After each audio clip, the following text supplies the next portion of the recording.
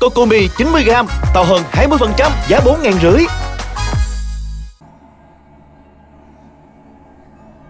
Cửu dân đại nhân Cửu dân đại nhân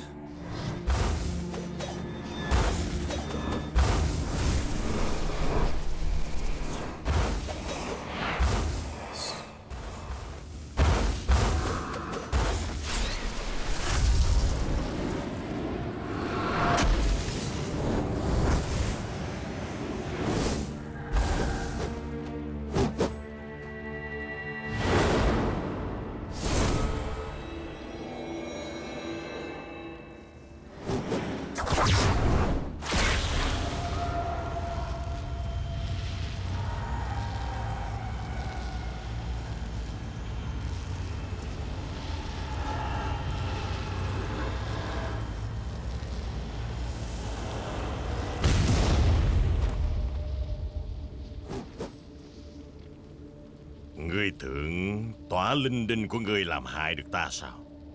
Bảy nguồn lực của ta đã hợp nhất. Ngay cả kết giới băng xuyên cũng phá vỡ được. Bây giờ còn gì có thể ngăn cản được ta? Nghe ngươi nói như vậy Sơn chủ Cũng đã bị ngươi khống chế sao Tiểu cửu dân Thanh quánh thạch Đương nhiên sẽ không có ở đây. Ngươi sẽ không khờ khạo tới nỗi tưởng ta sẽ lấy mạng môn của mình ra để dụ ngươi tới đây chứ. Ở đây Là mạng môn của ngươi.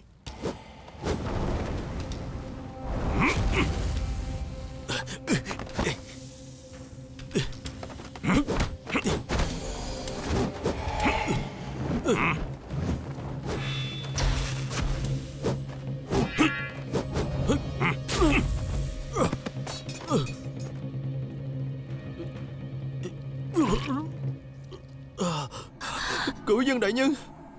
Cửu dân đại nhân.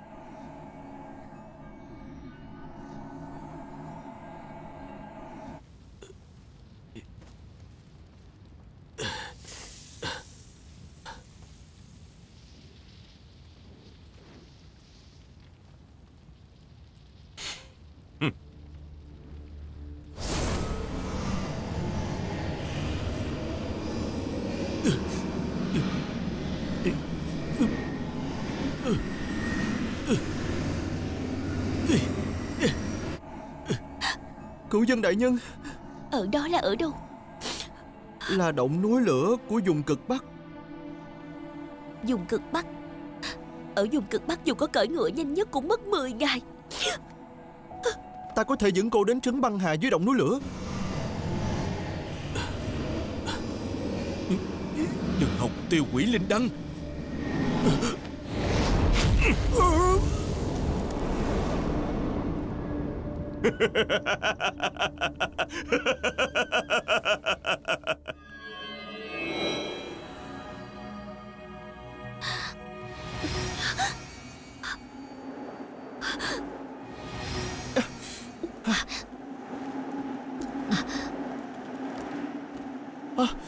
Tiểu Bạch. Ta phải đi tìm cửu dân đại nhân. Ngươi là kính tiên. Ngươi không thể đến nơi lạnh như vậy có phải không? Hả. Phía trước bằng lửa giao giao Ngươi không được qua đó Ngươi sẽ bị bể ra. Nhưng mà Ngươi cứ ở lại đây Ta sẽ dẫn huynh ấy về. Tiểu Xuyên à Cô có cách gì để cứu huynh ấy về đây chứ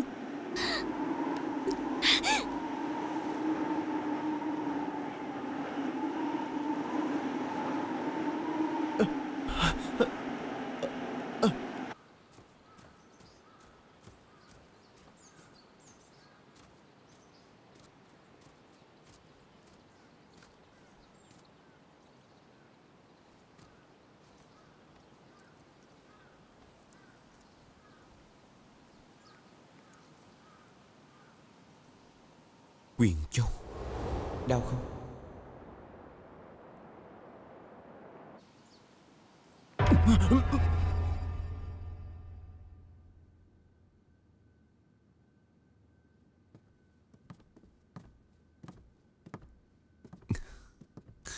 Sao lại là ngươi?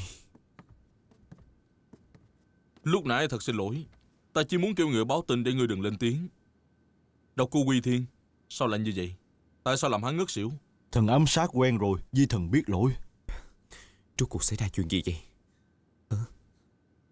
Ta luôn ở đây theo dõi giám sát. Chính mắt nhìn thấy quyền cho cô nương. Bị sơn chủ nó hương thủ bắt đi. Quyền Châu Bị Sơn Chủ bắt đi rồi sao Chính xác mà nói. Lịch quyên đã dùng cơ thể của sơn chủ. Lịch Quyên Không phải Lịch Quyên bị tên Đàm Xuyên bắn chết rồi hay sao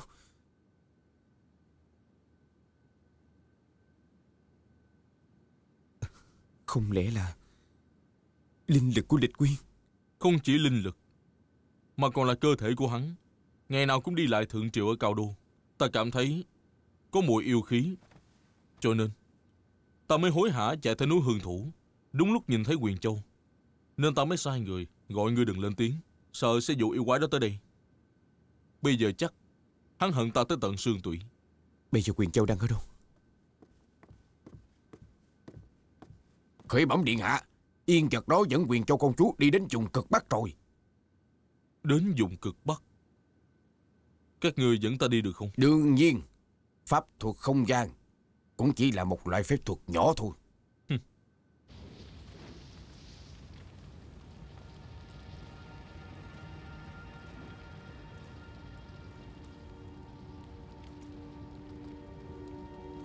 Chà, tiểu cựu dân còn chưa tự cháy nữa sao? Con có thể chịu đựng tới bây giờ à?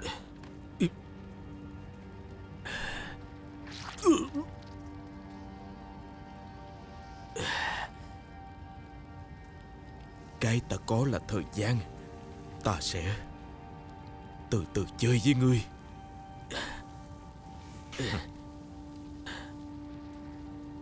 Ngươi có thể từ từ chịu Nhưng có một người không thể đợi được.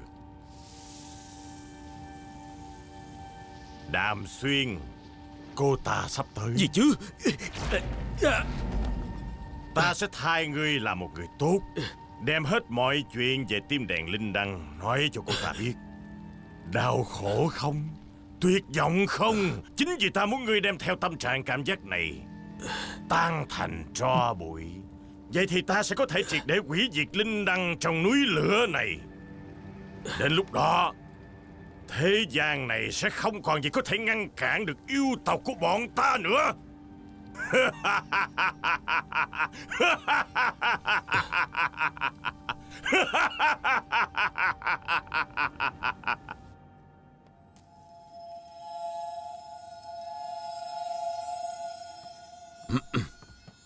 Điện hạ mời. Điện hạ Người cứ đi thẳng qua đó là được rồi à, ờ, Điện hạ Điện hạ. Điện hạ. Ôn lấu Hai người đang làm gì vậy? Ờ, Điện hạ lỡ tay lỡ tay. Người chọn chút. À. Điện hạ lần này chắc chắn không có sơ suất gì. Tả chim sự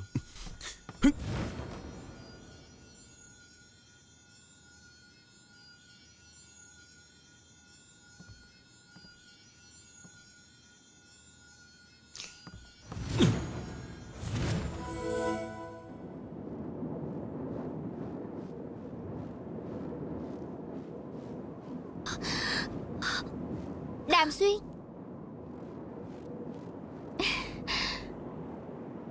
Sao tỷ lại ở đây? Đây là đạo trường mà sư phụ tu luyện. Ta cũng đang ở đây tu luyện đạo hạnh. Thật không ngờ có thể gặp muội ở đây. Ta thấy vui lắm. Tỷ làm gì vậy? Ta chỉ nghĩ một mình ta ở đây buồn chán quá. Đúng lúc muốn muội ở lại đây trò chuyện cùng ta. Đúng lúc ta còn có chuyện. Tỷ ở đây tu luyện một mình đi. Nè Ta giả không giống sao?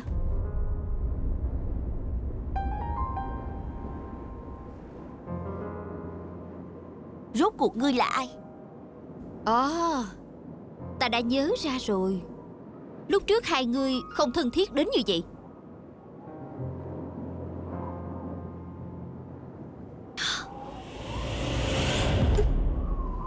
Trời ơi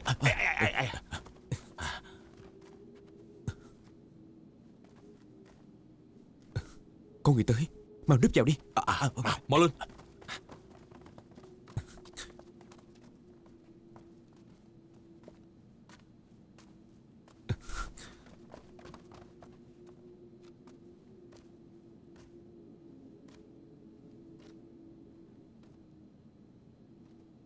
Mọi người phải cẩn thận. Ừ. Tả chim sự Ở đây đầy mùi yêu khí rất nguy hiểm. Chúng ta phải thừa cơ hành động. Bạch Lý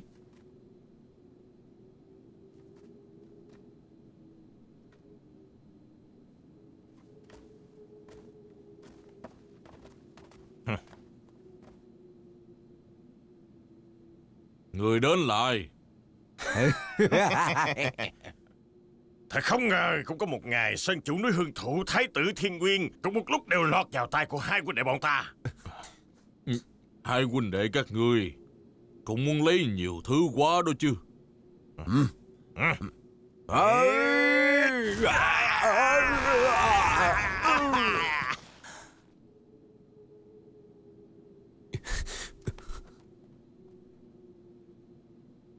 Cũng đã giải quyết xong hết rồi. Còn không mau vào đây.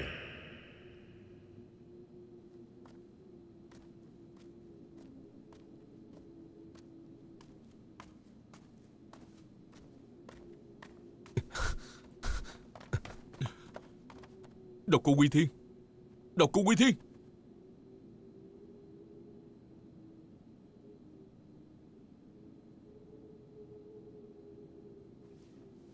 Lúc nãy là tiếng gì vậy? Là quốc sư.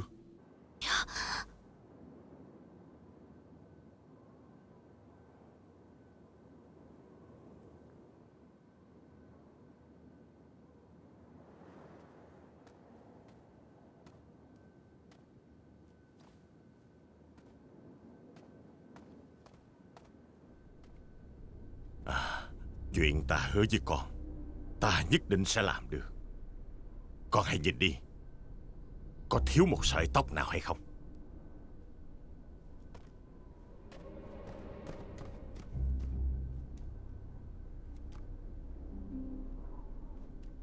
Hoàn hảo vô khuyết. À, Bây giờ Con có thể thật sự tin ta rồi chứ? Gọi ta một tiếng đi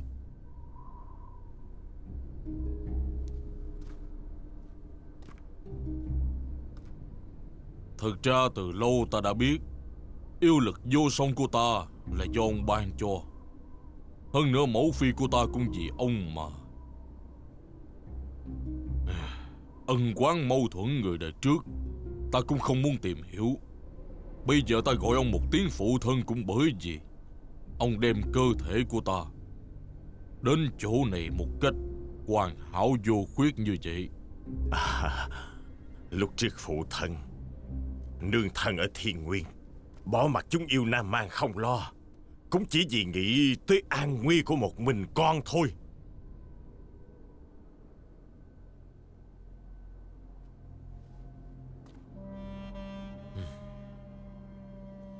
Lời của ông nói là thật sao? À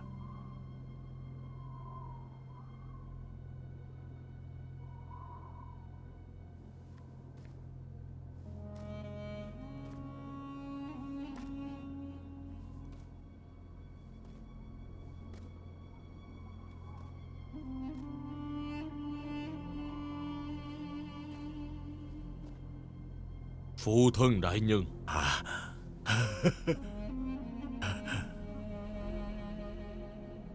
Hài Nhi. À, à, à, Lại đây Ta giúp con Hợp nhất thân xác tam giới này. Bây giờ Đã là của hai phụ tử ta.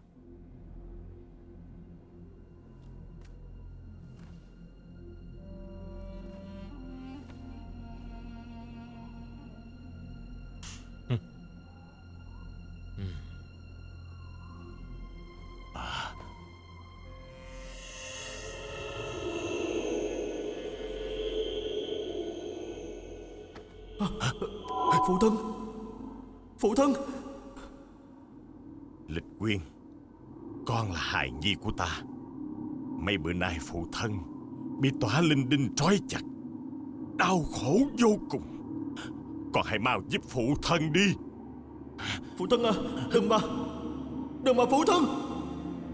Bây giờ ta xong lực quy dị Không cần phải phân thần liều mạng Vì cơ thể này nữa.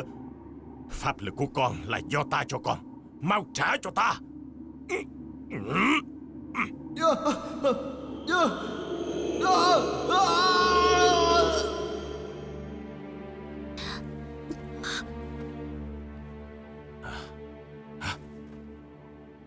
Tỉnh rồi à? Công chúa Đại Ly. Ngươi thề máu với Linh Đăng. Đừng qua đây Đàm Xuyên Châu không Có ai không? Có ai không? Quyền Châu. Cứu ta với. Người mà đi cứu Đàm Xuyên Còn ta cứu Quyền Châu. Diệt sạch yêu ma thiên hạ Lấy linh tế đèn Thật là cảm động lòng người. Cho ta biết Phó cửu dân đang ở đâu? Đừng sốt ruột. Đi theo ta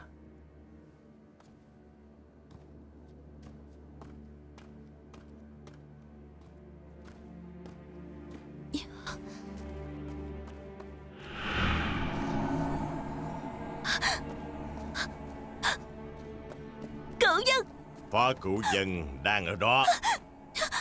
Cửu dân! Sao quên ngốc như vậy?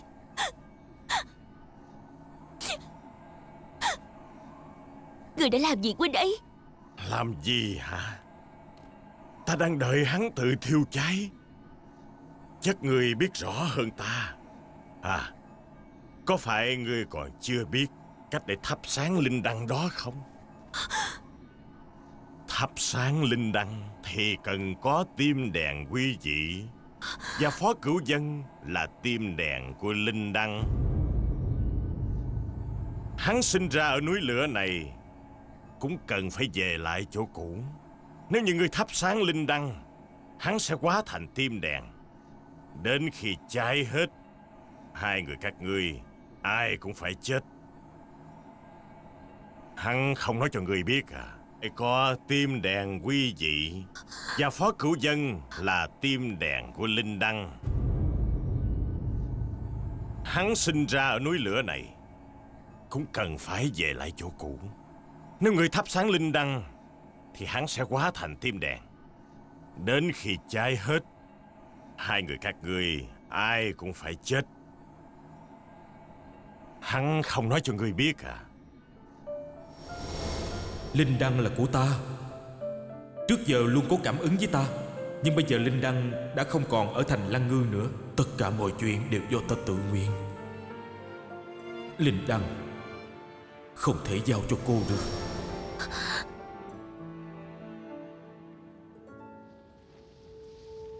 “一座城，一盏灯，虔诚了相思。冥冥之中，梦里公主三千尺， 纷纷细雨迟。 Tim đèn 彼岸花又是，浪迹了谁发过的誓？ Tim đèn À Phải đó Tim đèn Sao hắn lại không nói cho ngươi biết Đương nhiên là hắn muốn tìm mọi cách ngăn cản ngươi Lừa gạt ngươi Không cho ngươi lấy được linh đăng Hắn cũng sợ bản thân hắn sẽ chết. Thật ra, quốc hận gia thù nho nhỏ của ngươi, So với kéo dài tuổi thọ trăm năm của hắn thật là Không đáng để ta nhắc đến. Mỉa mai thay, Hắn đường đường là một tiên nhân, Mà lại ích kỷ đến như vậy. Thật là không xứng Với tình cảm mà ngươi dành cho hắn. Bây giờ phó cửu dân đang dãy dụa một cách đau khổ. Nếu ta mạo muội lấy người sẽ ép hắn, Ngược lại sẽ kích thích đấu trí của hắn. Ta nói người biết sự thật. Chỉ vì không muốn nhìn thấy người phải đau khổ vì hắn. Hơn nữa còn bị hắn lừa gạt đến gì cũng không biết.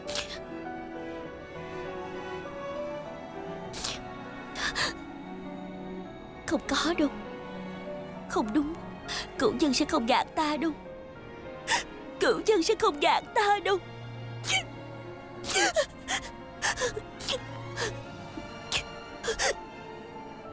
Ta xin ngươi. Ta cầu xin ngươi Ta xin ngươi. Ta không ngờ Công chúa của Đại Ly Lại quỳ gối cầu xin ta. Được thôi. Vậy thì ngươi hãy khuyên hắn. Khuyên hắn ấy tự thiêu cháy mình Có lẽ sẽ giảm bớt sự đau khổ. Nghĩ cho kỹ đi.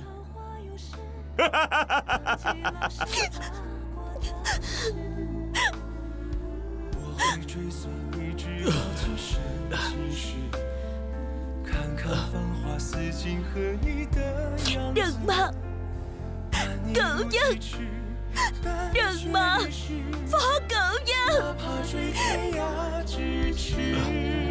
从一相遇一开始，提及的每个字都是无手无虑的样子。从今往后，你却总会姗姗来迟飞舞着转瞬即逝。昙花一现，雨季时，Nguyệt Châu Nguyệt Châu Nguyệt Châu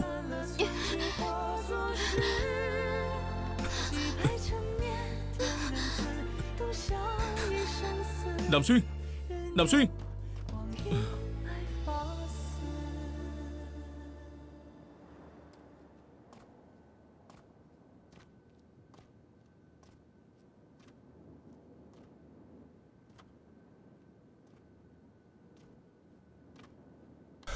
Ha ha ha! Có phải ngạc nhiên lắm không nhị điện hạ? Lúc nãy ta đã cảm thấy còn người vào đây. Thật không ngờ thì ra con cá này lại chính là ngươi. Đừng giết huynh ấy.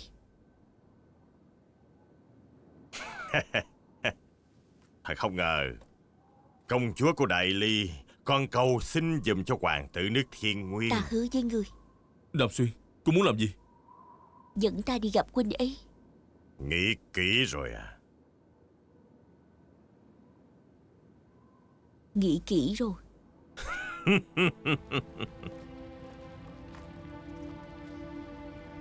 Phó cựu dân Ngươi mau mở mắt mà nhìn xem lại đến đây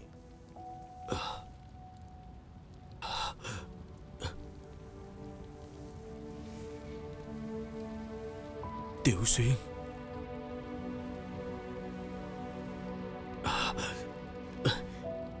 Tiểu Xuyên Đừng qua đây.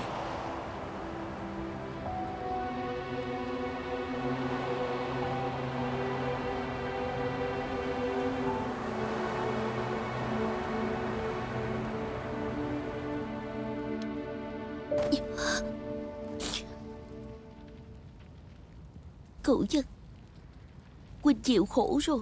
Ta cứu muội ra ngoài Ta nhất định phải cứu muội ra ngoài. Tử thần Mau chạy đi Ôi, Tử thần Ta nhất định phải cứu muội ra ngoài. Vô dụng thôi. Ta phải cứu muội ra.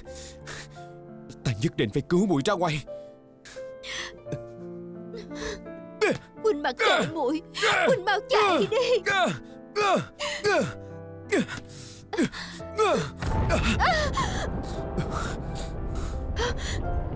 Tử thần Huynh chạy đi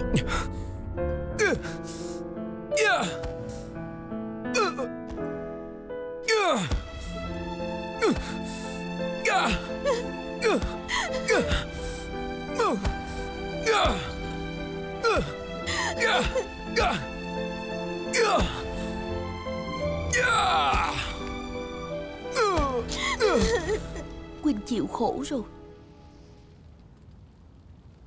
Đó cho muội biết. Có phải Huynh là tim đèn của Linh Đăng? Phải. Nhưng mà Tiểu Xuyên, Không phải ta cố tình giấu muội, Chỉ vì ta không muốn. Không muốn thấy muội lấy linh tế đèn. Ta phát hiện ra dù ta làm gì cũng không thể ngăn được muội. Tiểu Xuyên, Trong thời khắc ta quyết định cho muội linh đăng Ta đã hứa với lòng mình Nếu muội muốn thắp sáng nó, Ta sẽ hóa thành tim đèn cho muội Để muội mãi mãi cũng không biết những chuyện này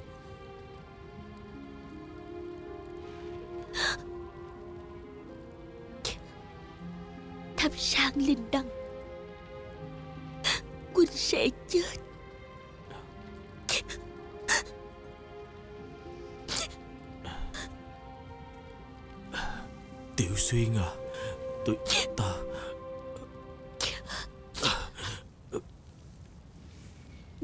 Ở bên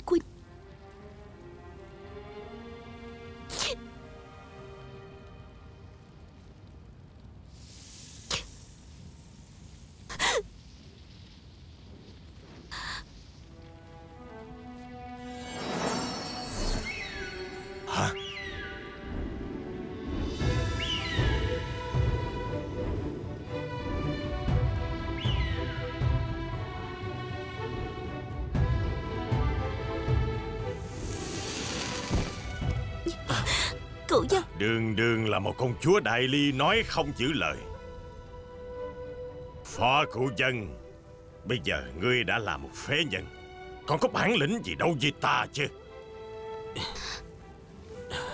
Cửu nhân Cho dù chỉ còn lại một hơi thở Người cũng đừng hòng. Đụng vào đàm xuyên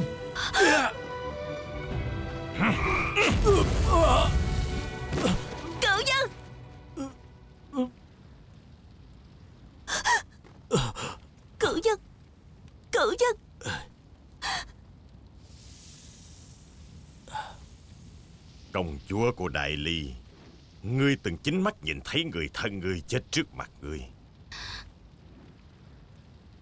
Vậy còn người yêu thương? Ta sẽ cho ngươi từ từ thưởng thức tim đèn tan rụi Sẽ có hình dạng ra sao?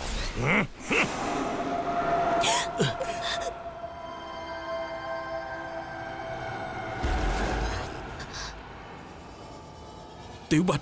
Tiểu Bạch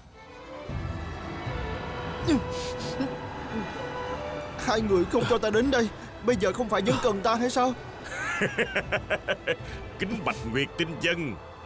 Chẳng qua ngươi chỉ là một cái kính tiên Cần gì phải hao tổn đạo hạnh của mình.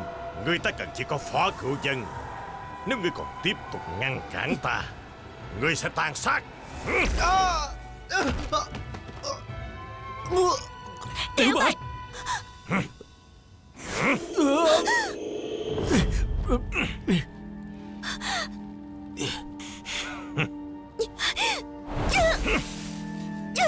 Tiểu Xuyên Tiểu Xuyên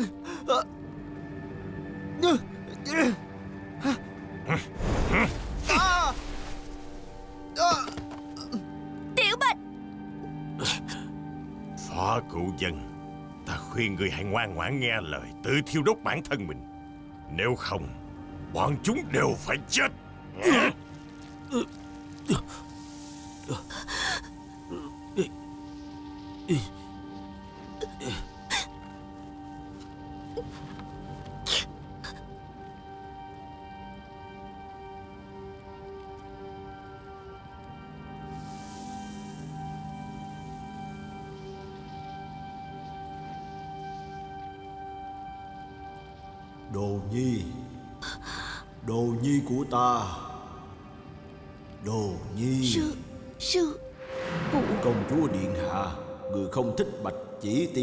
sao? Tá thuật này chỉ có thể biến con ếch hay con cọp gì đó thôi. Rốt cuộc có chỗ nào lợi hại chứ?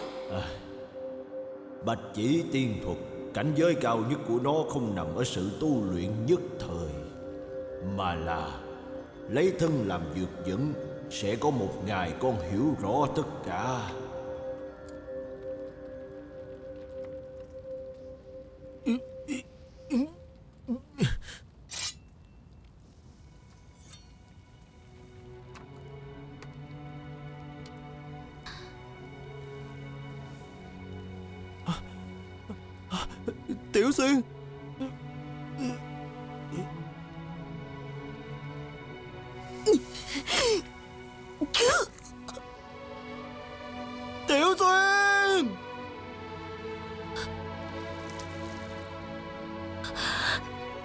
嗯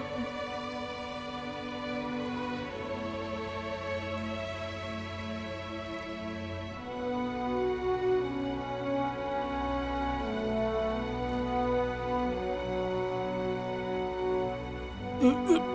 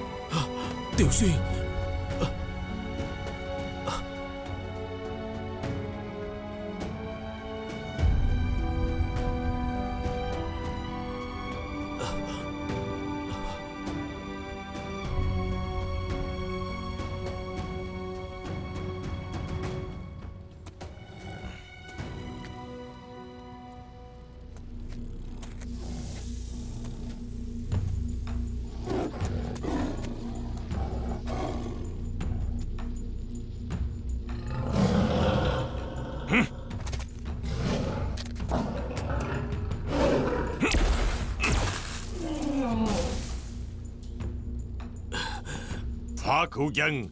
Nếu người đã ngoan cố như vậy Vậy thì đi chết hết đi.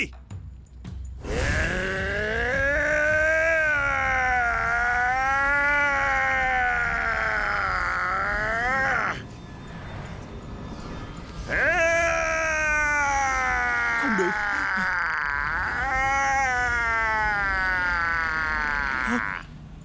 Cửu dân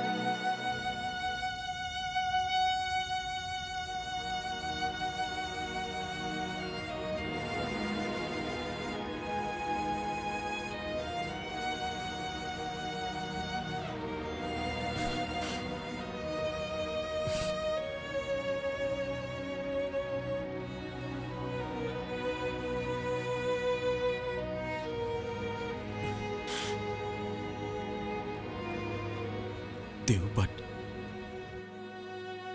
Ôi, Châu. Đi.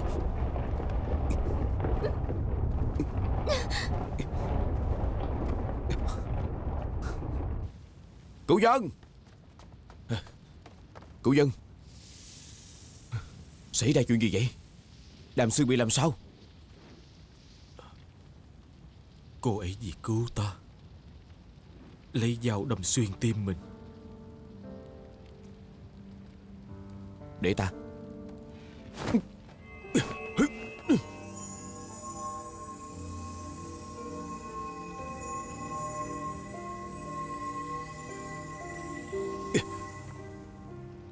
Ta phong tỏa tâm mạch của cô ấy, Nhưng máu chảy nhiều quá, Chúng ta phải mau chóng rời khỏi đây thôi.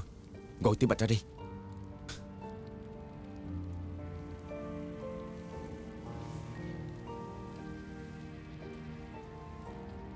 Tiểu Bạch đâu?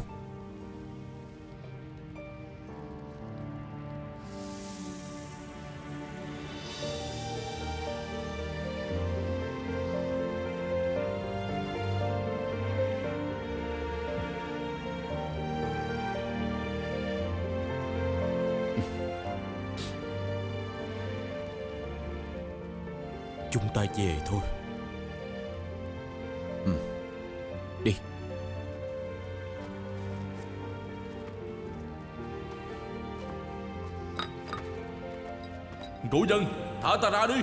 Cũng tại tên lịch quyên đó lừa gạt ta Ta mới mắc bẫy của hắn. Cửu dân. Cổ dân Cổ dân. Thả ta ra ngoài đi. Quynh định xử lý hắn ra sao? Tất cả hậu kiếp cũng vì sự tham lam của hắn mà ra. Hắn đã nợ Tiểu Bạch một mạng.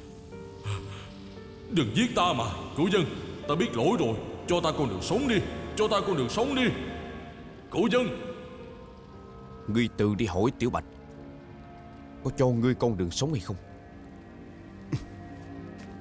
Mi Sơn. Mi Sơn à Ở đây cũng đã chết quá nhiều người. Cho ta con đường sống đi Cho ta con đường sống đi Ta cầu xin ngươi Tha cho ta đi.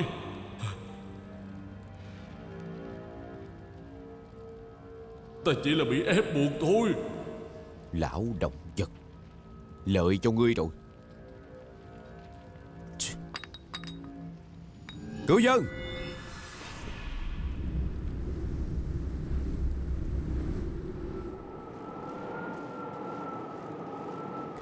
Sao mà thời tiết thay đổi vậy? Đúng là tà thật. Ờ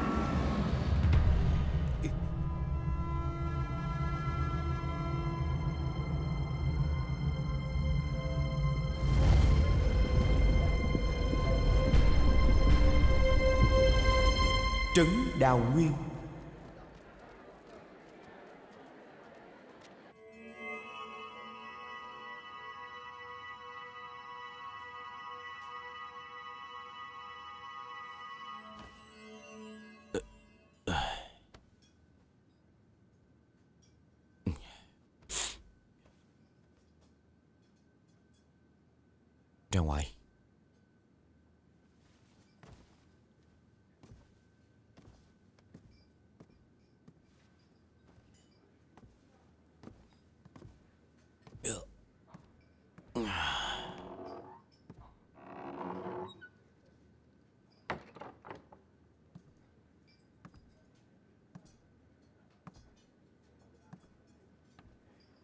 Sao rồi?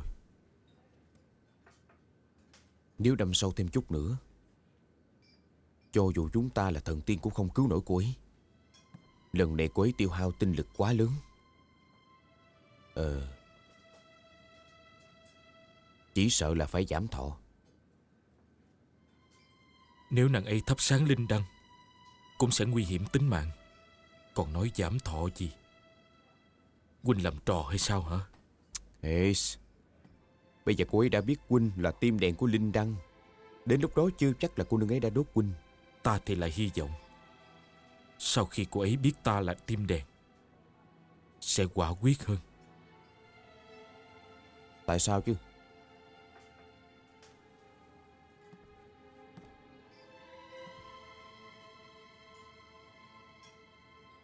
Đồng sinh Cộng tử Hai chúng ta đều không sợ. Điều duy nhất sợ là Cô ấy vì sống chết của ta Từ bỏ nguyện vọng và sự cố chấp của mình. Cuối cùng cả đời phải sống trong đau khổ.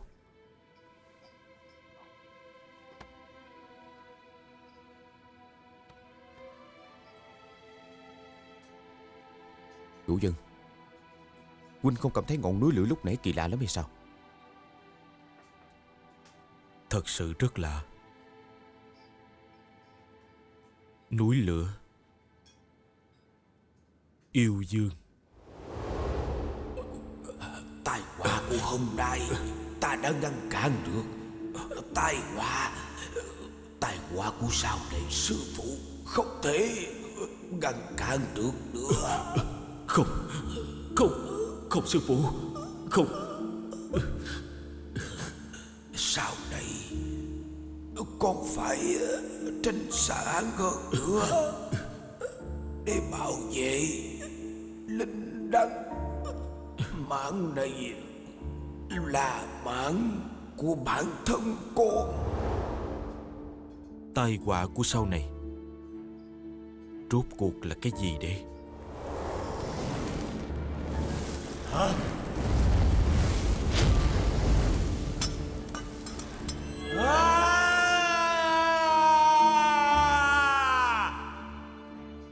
Có phải là quân đã nghĩ ra được cái gì không? Nam Mang yêu dương Sẽ không dễ chết như vậy. Chỉ sợ Hắn vẫn còn mục đích gì khác.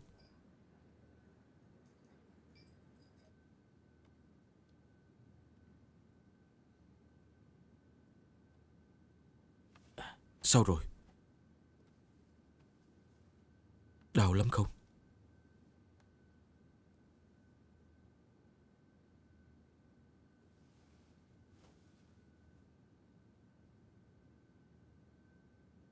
Tiểu Xuyên. Mũi đúng là ngốc thật mà. Chỉ vì cứu ta. Không tiếc dùng dao đâm thẳng vào tim, Mũi chán sống rồi đúng không? Không đốt linh đăng nữa sao? Hay là bây giờ Mũi vì ta? Không dám đối mặt với chuyện thắp sáng linh đăng nữa.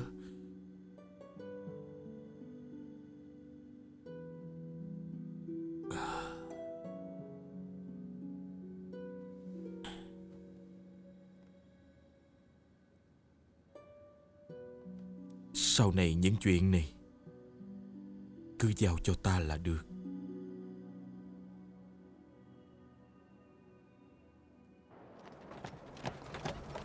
Lăng Châu Dương Phụ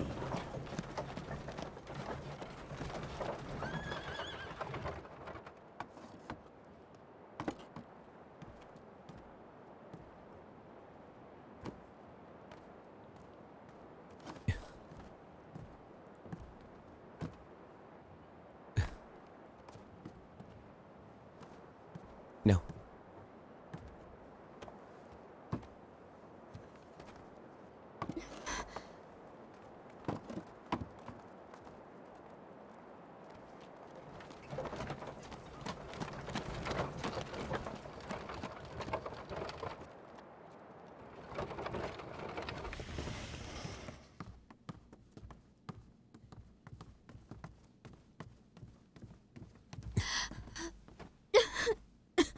Chỗ này an toàn lắm.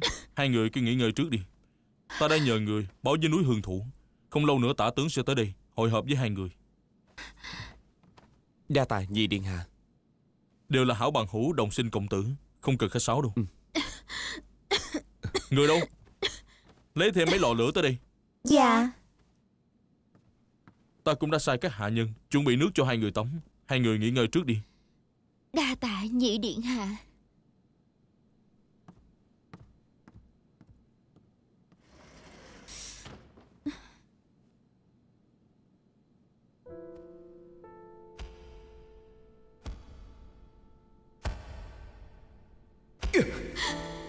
Tử thần Huynh mặc kệ muội đi Huynh mau chạy đi. Tử thần. Ta nhất định phải cứu mũi ra ngoài.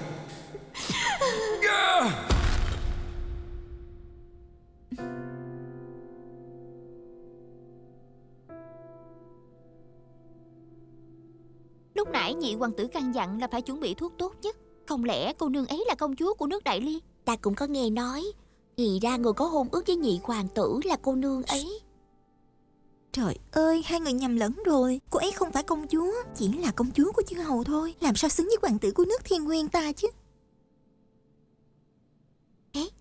Lúc nãy ta còn nghe nói Đại hoàng tử vừa mới chuẩn bị chiếu cáo thiên hạ Nạp cô nương đó làm thái tử Đại phi. hoàng tử đã nạp cô ấy làm thái tử phi chưa? Còn không phải là cô ta mặc dày Ở lại thành lăng ngư sao? Mau lên, mau lên. Mau mau, mau lên đi thôi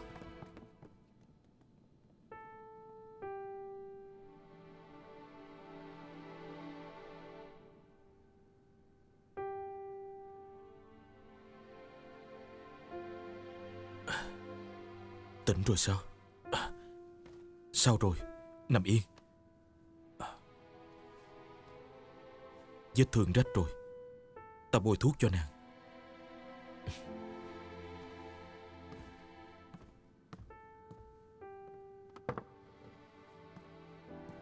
Chúng ta còn sống sao?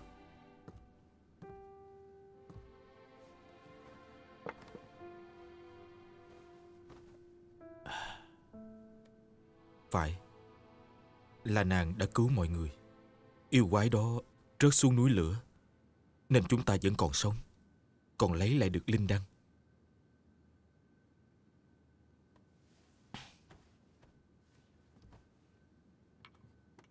Tiểu Bạch đâu Sao không thấy Tiểu Bạch đâu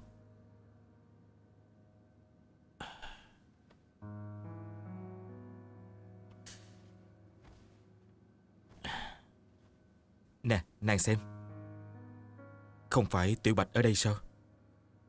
Tiểu Bạch Đã hao phí quá nhiều tiên lực, Nên ngủ rồi. Nè, nàng cũng biết đó. Ngày thường đệ ấy, thích nhất là đi ngủ mà. Chúng ta đừng làm ồn. Để đệ ấy Nghỉ ngơi cho khỏe.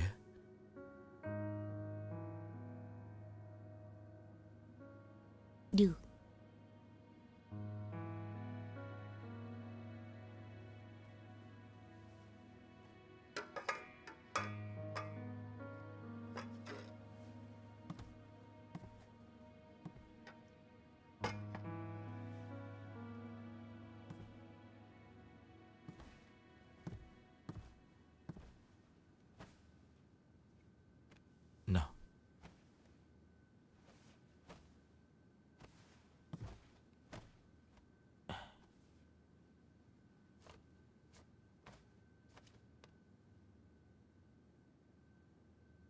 Vậy nàng nghĩ Vết thương chỗ này của nàng là ai băng bó?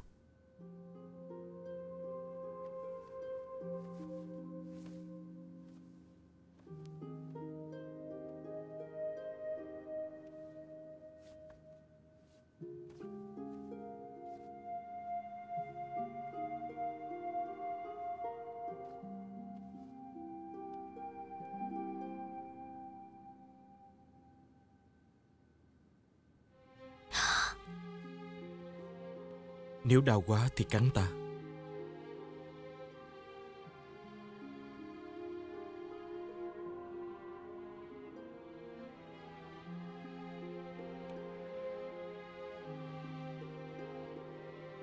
Nỗi đau khổ này Có phải Huynh đã từng trải qua rất nhiều lần không?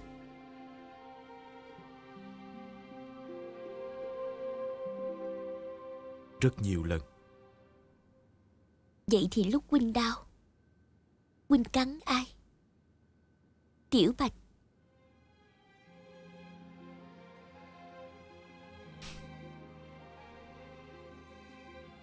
Vậy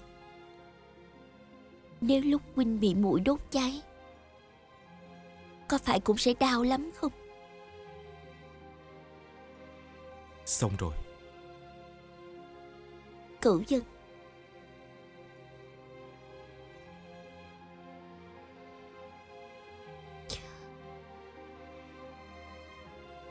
muội tự nhiên muốn ăn bánh chi. Được Ngày mai chúng ta sẽ đi ăn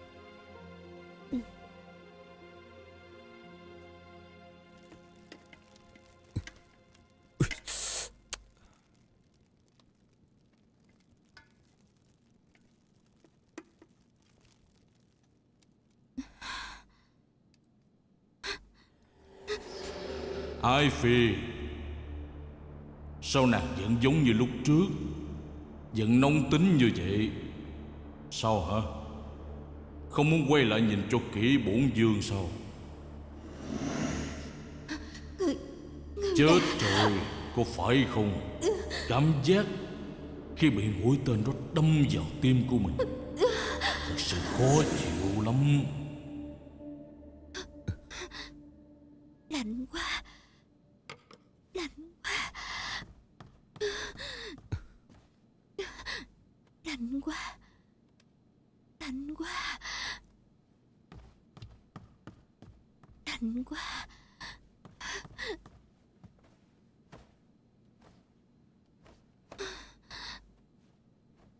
Tử thần Quỳnh mặc kệ muội, Quỳnh chạy đi. Chạy đi. Quỳnh mau chạy đi.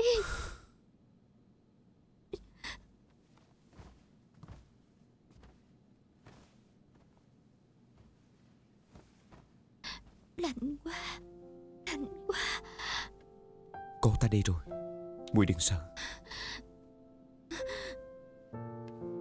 Mặc kệ muội Tử thần Huynh chạy đi Mau chạy đi. Lúc muội ở một mình Thì muội cũng giống như vậy sao?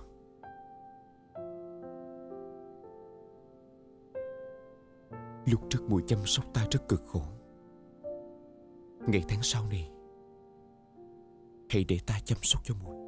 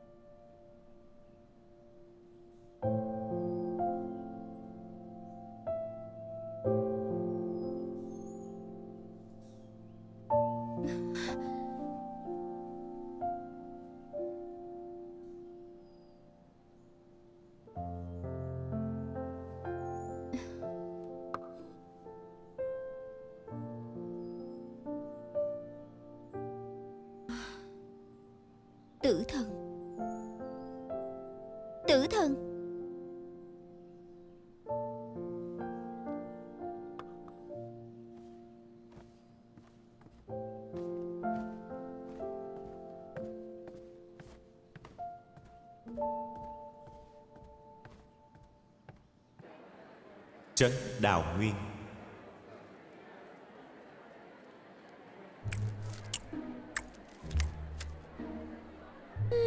Cái bánh chiên này còn hay hơn cả thuốc tiên. Ăn mới một miếng, Bệnh gì cũng khỏe. Chuyện đó đương nhiên rồi. Thật ra, muội rất muốn mở một tiệm bánh. Trên bảng hiệu sẽ vẽ một cái chảo dầu, Trên đó viết là Chảo dầu. Cứu thế. Chiên bánh cứu người. Đây của cô nương đây. Đa tạ. Cô nương à Cô đến đây đúng lúc thật đó. Trấn Đạo Nguyên của chúng tôi giáp với lại nước Đại Ly. Một năm trước Đừng có nói là mở tiệm bán thịt. Những nhà kế bên trong nhà còn không dám nấu thịt. Họ sợ sẽ dụ đám yêu quái đó lại đây. Bây giờ không biết gì chuyện gì Một nửa số yêu quái đó hả? Đều chạy đến Nam Man hết rồi. Ta nghe đạo sĩ nói Yêu dương của bọn chúng đã trở về Mọi người cứ yên tâm mở tiệm bánh của mọi người đi. Cho dù là Đại Ly hay là Trấn Đào Nguyên Sau này không còn yêu quái nữa. Sao thiên hạ có thể không còn yêu quái nữa chứ? Vậy thì phải mời bao nhiêu đạo sĩ đây? Mời đạo sĩ gì chứ? Đương nhiên là đúng. Ông chủ Bánh khét rồi. Ờ, ờ, Trời ơi ta, ta, ta quên mất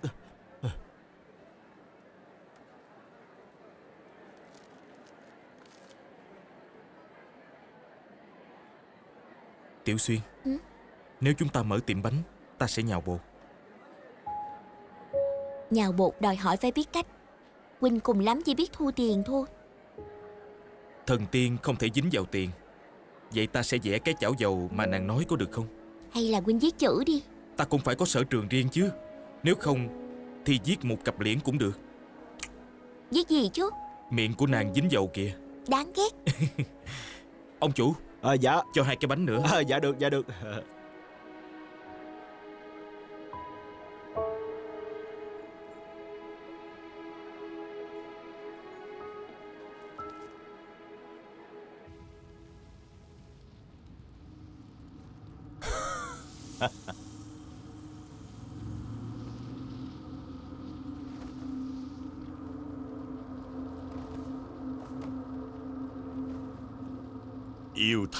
đại nhân tại thượng thiếu nhân đại nạn không chết. Cũng là nhờ vào sự chỉ dạy của yêu thần đại nhân.